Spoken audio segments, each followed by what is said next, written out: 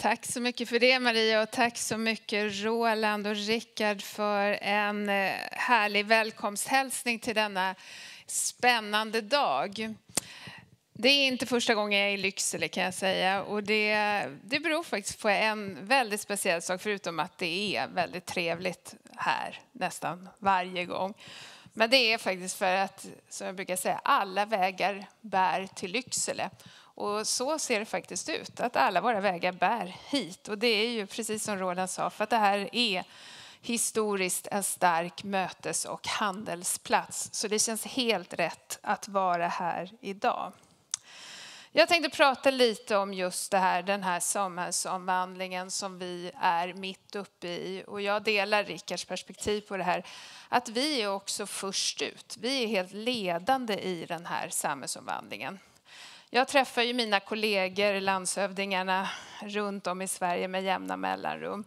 Och de håller fortfarande på att berätta för mig om det där stålverket som ska komma eller de där batterifabrikerna som ska byggas eller Eh, det där pappersbruket som ska ställa om till någonting. De berättar om järnvägar som ska byggas lite längre fram och de berättar om vindkraftsparker som ska komma så småningom och att de minsann också är en del av den gröna omställningen. Men skillnaden för oss det är att den där batterifabriken är redan byggd. Järnvägen håller redan på att byggas mellan Umeå och Skellefteå stora fabriker och investeringar i fabrikerna runt Umeå, de har redan gjorts. Vi har redan stora vindkraftsparker på plats och vi är faktiskt de som ligger först nu i den gröna omställningen. Och det är ju någonting härligt. Men för att klara den här samhällsomvandlingen så är det ju också så att vi ser att de utmaningar och problem som kommer med det, de kommer också först till oss. Och jag tänkte vi skulle prata lite om just det.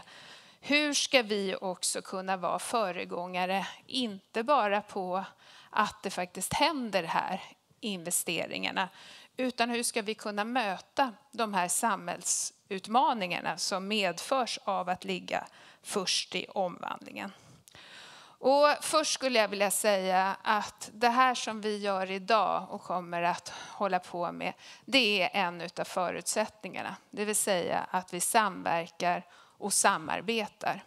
För det är inte en organisation, en kommun eller ett företag eller en individ eller en forskare som kommer att lösa de här problemen. Utan det krävs att vi alla samarbetar och samverkar och att vi har en gemensam bild om vart det är vi är på väg, vart vi ska och hur problemen ser ut. Sen måste vi också vara modiga, oerhört modiga. För vi måste hitta nya lösningar och pröva helt nya arbetssätt. För visst har vi varit med om en stor industrialisering tidigare i det här länet och i den här regionen. Men som Rickard sa, vi kan inte göra det på samma sätt som vi gjorde det då. För då kommer det inte bli långsiktigt hållbart. Då kommer vi se en nedgång igen, precis som man gjorde efter den industrialiseringen. Så Mötesplats Lycksele är oerhört viktigt för att vi nu också ska kunna vara föregångare, inte bara på industrins investeringar utan just på den här mäktiga samhällsomvandlingen. Och när nu inte bara resten av Sverige och Europa utan hela världens strålkastare riktar sig mot oss, då är det viktigt att vi har en gemensam berättelse om vad det är vi har att erbjuda. Att vi lyfter fram allt det positiva, men också gemensamt adresserar våra utmaningar. För det är stora och väldigt svåra problem som vi står inför. Men jag vill understryka om att det handlar inte bara om att leta efter de här målkonflikterna som finns, för det vet vi att de finns, utan också börja titta efter målsynergier. Alltså, vad kan vi hitta för lösningar som inte bara löser ett problem, utan kanske löser flera problem? Och sådana finns också i den här omställningen. Så vi behöver bli överens om utmaningarna och vi behöver bli överens om de gemensamma mål som vi vill uppnå. Men vi ska vara öppna för att det finns många olika vägar att nå dit och vi ska pröva väldigt många av dem. Ett sånt här problem eller samhällsutmaning som ofta kommer upp i diskussionen om den gröna samhällsomvandlingen här i norr, det är kompetensförsörjningen. Och kompetensförsörjningen det är själva definitionen av det som man idag kallar för komplexa problem eller wicked problems. Och vad är då ett wicked problems eller ett komplext problem? Jo, det som kännetecknar det, det är att det är ett symptom på många olika problem som finns på många olika ställen. Så därför finns det inte bara en lösning på det här. Det är inte så att vi skulle kunna göra en övning nu där ni alla fick skriva på post-it-lappar förslag till lösning och så skulle vi enas om en lösning. För det finns inte en lösning på ett komplext problem, utan det är jättemånga saker som ska göras. Däremot så skulle vi kunna göra samma övning och sätta upp ett mål.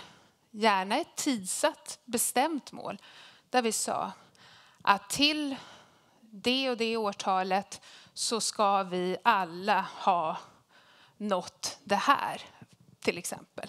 Vi ska ha blivit så här många fler i arbetsför ålder, vi ska ha utbildat så här många fler eller vi ska ha matchat eh, mot jobb på det här sättet.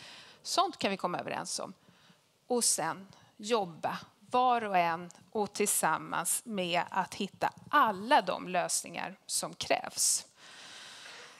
För det är faktiskt så att vi sticker ut lite mot övriga Europa här, att vi just har en sån stor utmaning när det gäller att få fler människor. Vi har den lägsta arbetslösheten i Sverige. Den är i länet 3,9 procent. I Skellefteå tror jag den är nere på 3,5 procent. Det innebär att vi har arbetskraftsbrist. Men många andra regioner runt om i Europa som också ingår i den här, de är ju snarare omvända. De har stigande arbetslöshet. Därför där handlar det om att lägga ner gammal smutsig industri eller kolgruvor som inte längre kan användas när vi går mot netto noll utsläpp. Så vi är unika, men tyvärr är vi inte unika när det gäller att matcha lediga jobb mot den befintliga arbetskraften. Och det här är det som är the wicked problem som finns i samhället. Och jag har ställt den här frågan till några av er tidigare när jag hade kommunstyrelseordförande på besök i residenset. Men jag ställer frågan igen.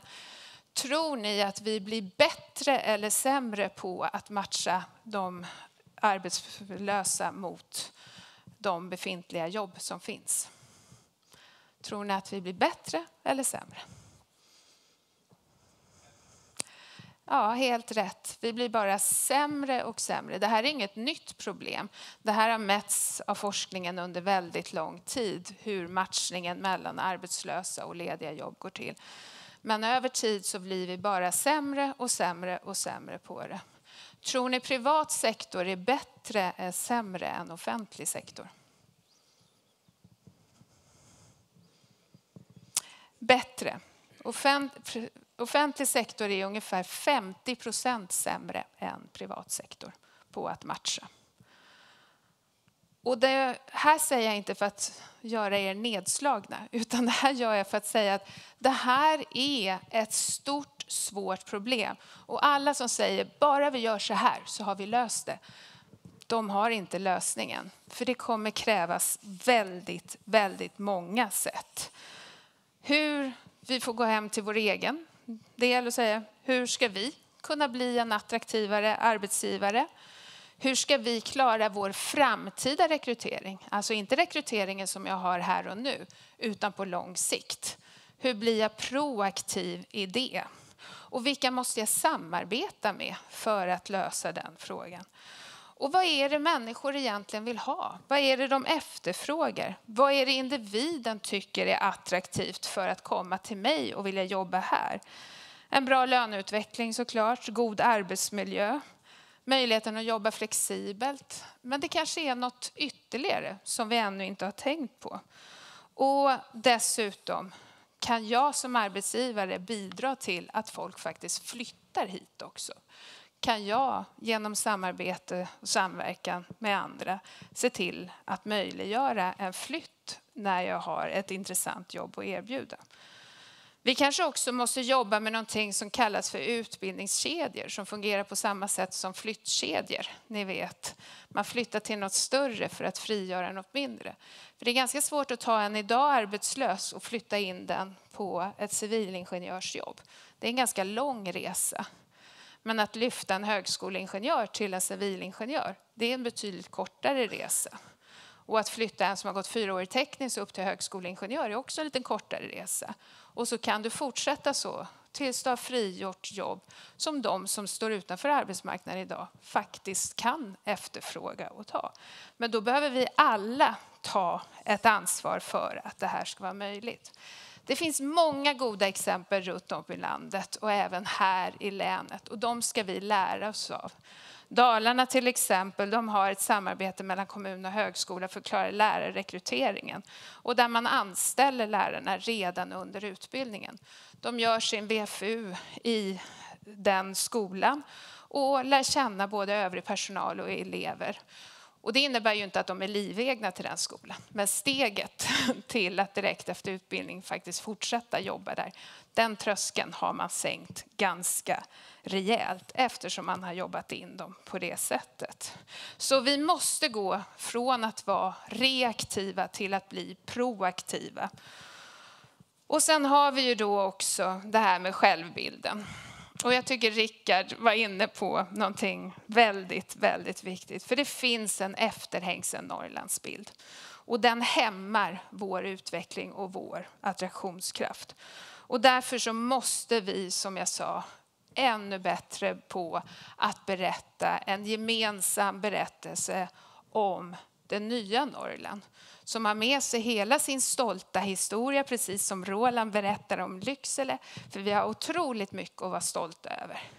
Men vi måste också berätta om att det är faktiskt något nytt som kommer här och nu. Och det måste vi ta plats i den offentliga debatten. Min roll som landshövding är väldigt mycket det. Och jag har inte heller riktigt det här västerbottniska jantelagen. Så jag brukar säga jag skryter gärna åt er om jag kan hjälpa till på den platsen. Men det är ju också det här med männens företräde i bildsättningen och det man lyfter fram. Från både populärunderhållningen men också i media i stort. Ofta är det vd-män som syns i tidningarna eller på tv för de stora industriföretagen. Och det här måste vi ändra på.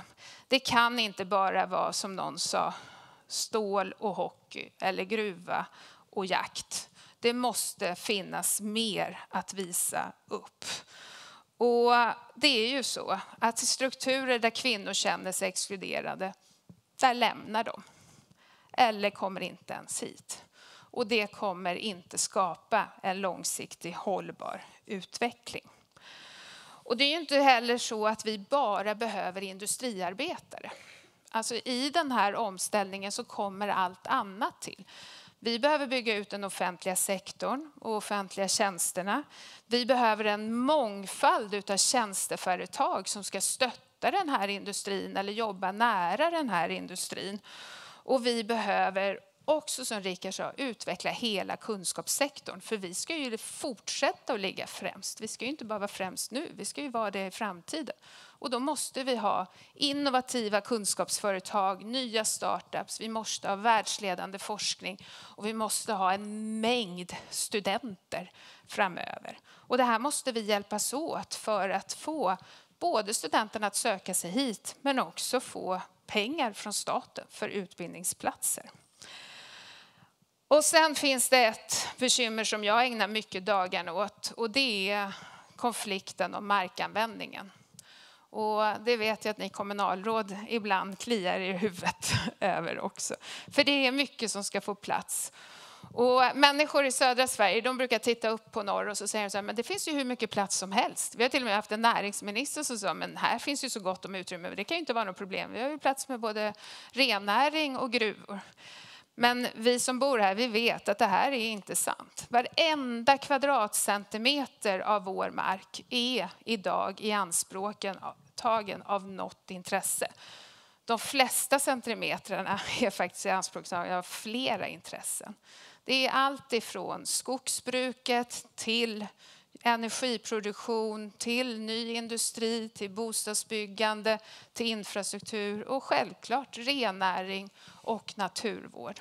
Och det innebär också att vi får en konflikt mellan de globala klimatmålen som vi har sagt att vi ska klara och den lokala miljön och de lokala näringarna. Vi ska klara industrins konkurrenskraft samtidigt som vi ska bevara den rennäring som finns här men också andra lokala näringar som till exempel turismnäringen. Och det här är någonting som vi måste ta på allvar och som vi måste jobba tillsammans att hitta lösningar på. Och det finns inte ett rätt eller fel, men vi kan göra det bättre eller sämre. Och vi ska alltid sträva efter att göra det bättre. Så med det. Vi ska lära av historien, men vi ska framför allt vara med och samskapa framtiden. Och vi ska inte bara hantera målkonflikter, utan vi ska leta efter målsynergier. Och jag delar ju den vision som ni redan har hört här om att norra Sverige ska bli Europas mest attraktiva region och där vi lever utifrån de tre hållbarhetsaspekterna. Ekologisk, social och ekonomisk hållbarhet. Men också att vi har en plats dit människor gärna flyttar och de allra flesta väljer att bo kvar eftersom vi kan leva ett liv i balans här.